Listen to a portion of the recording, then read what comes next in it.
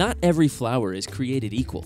The best flowers are a result of just the right mixture of light, nutrients, and warmth.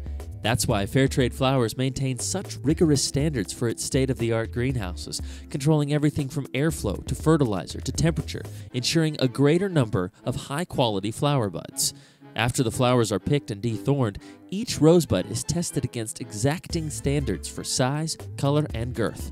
When you send Fairtrade flowers, you can be assured that you are sending flowers of the highest quality.